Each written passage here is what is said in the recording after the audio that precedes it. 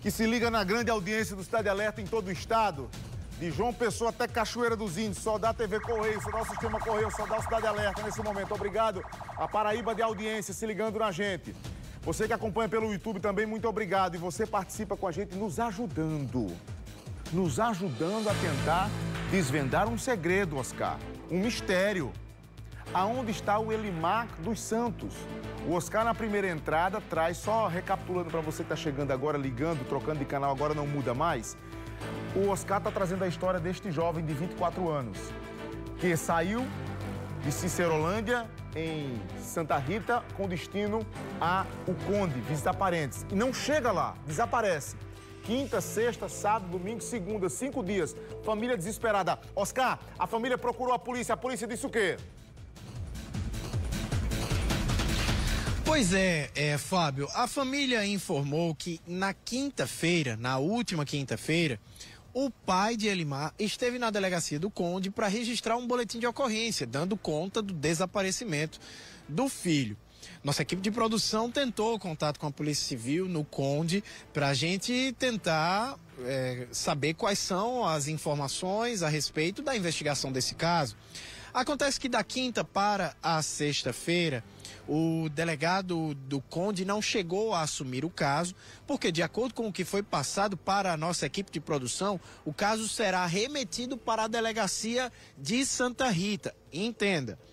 O boletim de ocorrência foi registrado na delegacia do Conde mas será investigado pela delegacia de Santa Rita. E aí, da sexta-feira para cá, nós tivemos o final de semana, final de semana de São João, hoje é feriado. Então, é, o delegado de Santa Rita, titular, só deve assumir o caso e, a partir daí, dar início às investigações, certamente convidar a família para é, prestar esclarecimentos, enfim, dar início de fato às investigações a partir de amanhã. Então, até o momento, não há qualquer informação ou linha de investigação apontada pela Polícia Civil, porque esse trabalho ainda deve ser iniciado, muito provavelmente a partir de amanhã. Agora, o Fábio, isso tudo é, chama bastante atenção, porque de acordo com a família, o Elimar é um rapaz trabalhador, jovem, um jovem adulto de apenas 24 anos, conseguiu um emprego de garçom no Rio de Janeiro. É, ele divide o ano dele em temporadas, então ele passa seis, sete, oito meses trabalhando como garçom lá no Rio de Janeiro e volta para Paraíba. Depois disso, passa uns dias aqui de descanso, passa um período aqui e aí depois retorna para o emprego dele como garçom no Rio de Janeiro. Uma figura boa praça que, segundo a família, não tinha inimizade, não tem inimizades com ninguém, muito pelo contrário, uma pessoa querida dentro da família, dentro da comunidade, ali entre as pessoas do Conde, as, os colegas de trabalho no Rio de Janeiro, enfim, uma pessoa bem quista e que sempre foi trabalhador, filho também é, de trabalhadores, enfim, eu estive na casa da família dele no Conde hoje, me pareceu pessoas é, de bem. Então, tudo isso causa bastante estranheza, né? O que teria acontecido com um jovem rapaz trabalhador de uma família aparentemente sem qualquer tipo de suspeita é, que indicasse algum tipo de problema. O que teria acontecido com Elimar? Ele saiu de Cicerolândia em Santa Rita na terça-feira e não chegou ao Conde, como ele disse, ao amigo que iria. Por quê? O que teria acontecido no meio do caminho? Estaria esse jovem envolvido com algum tipo de problema? Seria relacionado ao trabalho, algum outro tipo de coisa? Essa, essa, esse perfil de um, um jovem de bem trabalhador, a irmã dele falou bastante sobre isso hoje à tarde quando eu estive lá. Vamos ouvir mais um pouco.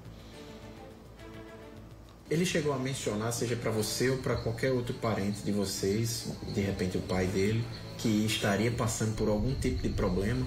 Não, não, nunca nos, não, nos falou isso não, nunca nos afirmou, comentou não, até porque ele era um menino bem querido, ele gostava de brincar, a gente nunca viu ele, ele triste. Ele chegava lá alegrando a, a nossa família. Ele nunca falou. Ele é um rapaz de 24 anos, trabalhador. Trabalhador, ele ia para o Rio, trabalhava lá, ele enviava vídeos da gente, é, pra gente ele trabalhando, os meninos já gostavam demais dele. Garçom, garçom, se meu irmão não fosse trabalhador, o pessoal lá não queria ele lá.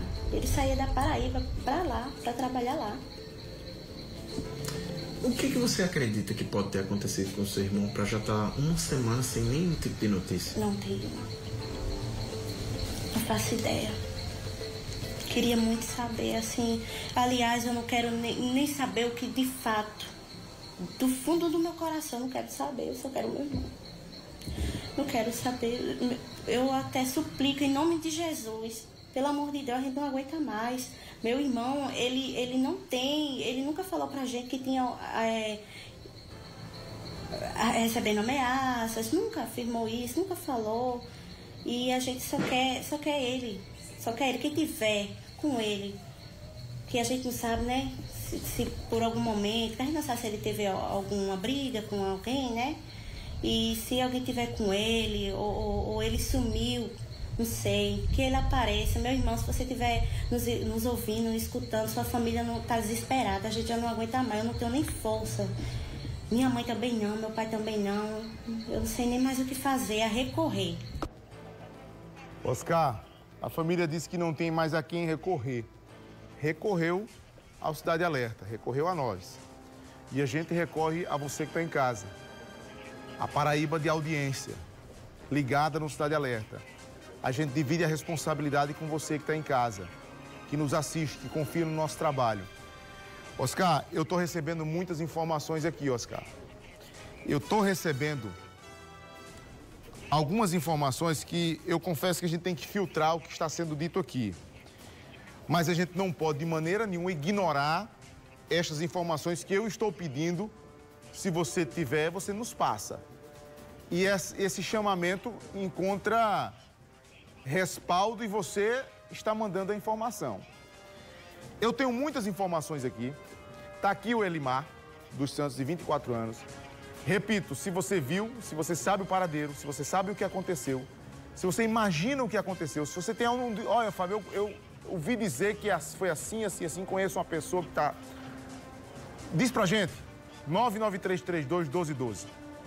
Me diz pelo meu Instagram, Fábio Araújo TV, por onde eu estou recebendo, inclusive, checando a informação. É o seguinte, Oscar, eu tenho a, a, informação, eu vou, fazer, eu vou fazer o seguinte, eu vou, eu vou submeter essa informação à nossa direção aqui, ao Steniel, certo? Porque pode ser que a gente tenha um encaminhamento da onde, da onde a gente pode ter, pode ser que a gente tenha o caminho do que tem acontecido com ele e Omar. Segura só um minutinho. Segura só um minutinho. Fica, fica na tela aí, é, Oscar, que eu volto com você. Eu sei que você tem mais, tem mais conteúdo para entregar sobre o caso, que você está no caso desde cedo, está procurando entender também o caso e está escutando a família. Repito, a gente tem que tratar tudo com muita responsabilidade, Paraíba. Tudo com muita responsabilidade, porque trata-se de um rapaz que está desaparecido e uma família que está apreensiva e está desesperada.